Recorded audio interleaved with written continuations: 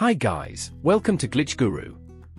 In this video, we'll show you how to disable these sponsored quests ads that appear in the Discord app. Doing this is fairly simple. First, click the settings icon in the bottom right corner. Here, select the privacy and safety tab from the left pane. Here, scroll down to the how we use your data section.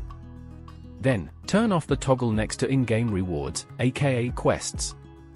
After doing this, click the tiny arrow icon in the bottom right corner of the taskbar. Right-click on the Discord app icon and select Quit Discord. Reopen the Discord app on your PC and it won't show any sponsored quests ads on your desktop. Let me know in the comments if this helped and subscribe to Glitch Guru for more such tips.